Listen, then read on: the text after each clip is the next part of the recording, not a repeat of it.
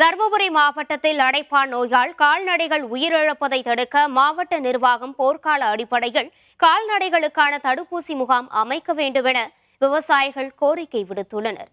தருமபுரி மாவட்டம் அரூர் பொய்யப்பட்டி வீரப்பநாயக்கன்பட்டி சுற்றுவட்டார பகுதிகளில் கடந்த சில வாரங்களாக ஆடு மாடு எருமை உள்ளிட்ட கால்நடைகள் அடைப்பான் என்கின்ற நோயால் தாக்குதல்கள் உயிரிழப்பதால் விவசாயிகள் பாதிக்கப்பட்டுள்ளனர்.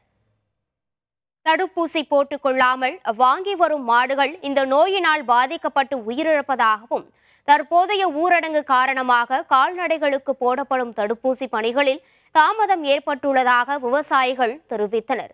எனவே தருமபுரி மாவட்டம் முழுவதும் கால்நடைகளுக்கு அடைப்பான் நோய் பரவாமல் இருக்க மாவட்ட நிர்வாகம் கால்நடை மருத்துவ முகாம்கள் மூலம் தடுப்பூசி போட வேண்டும் எனவும் உயிரிழந்த கால்நடைகளுக்கு உரிய இழப்பீடு வழங்க வேண்டுமென கால்நடை பாதுகாப்பு குழுவினர் மற்றும் விவசாயிகள் கோரிக்கை விடுத்துள்ளனர்.